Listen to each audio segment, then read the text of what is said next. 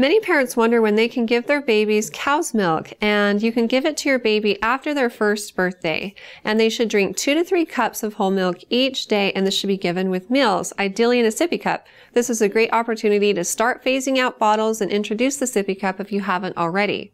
A lot of parents also want to know why they can't give their children cow's milk until after their first birthday, and it just comes down to their body being ready for it. The protein is a little bit harder for their body to digest, and so their body isn't ready to do that until after their first birthday. And um, breast milk and or formula has the perfect balance of nutrients and fat that a child needs during that first year. Then in the second year of life or after their first birthday, they do need the fat content that's in whole milk, and they should get that until their second birthday, and then at that point you can give them one or two percent.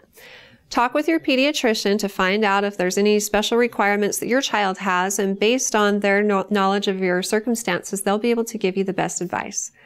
If you have more questions for me in the future, please feel free to ask them on our Facebook page at facebook.com forward slash Intermountain Moms and recommend us to your friends and family too.